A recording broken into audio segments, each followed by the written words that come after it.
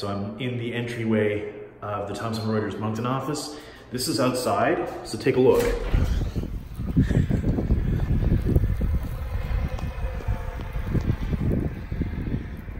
There's just a little bit of snow coming down today.